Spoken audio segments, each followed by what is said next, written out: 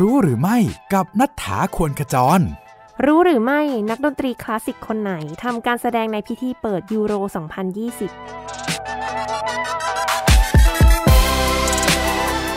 ในพิธีเปิด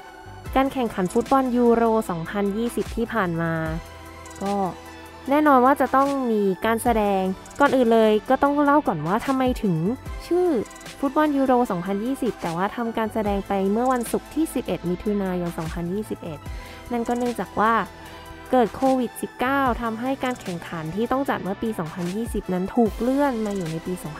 2021 โดยนักร้องชื่อดังระดับโลก นักร้องเทนเนอร์ ชาวอิตาเลียน ที่มีชื่อว่าอันเดรอา โบเชลลีที่หลาย ๆ คนก็รู้จักกันดีนั้นได้ร่วมแสดง บทเพลง Nessun dorma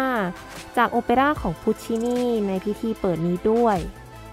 เพลง Nessun dorma ก็เป็นอีกหนึ่งบทเพลงที่กลายเป็นเพลงฮิต ในวงการกีฬา หลังจากที่ลูซิอาโนพาวารอตติเนี่ยหนึ่งใน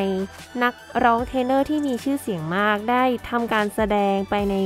การแข่งขันฟุตบอลโลกเมื่อปี 1990 โบเชลลี่เองก็บอกว่ามันเป็น ความภาคภูมิใจแล้วก็เป็นเกียรติอย่างยิ่งที่ได้ทำการแสดงใน Olympic Stadium ของประเทศโรม ในการแข่งขันยูฟ่ายูโร 2020 นี้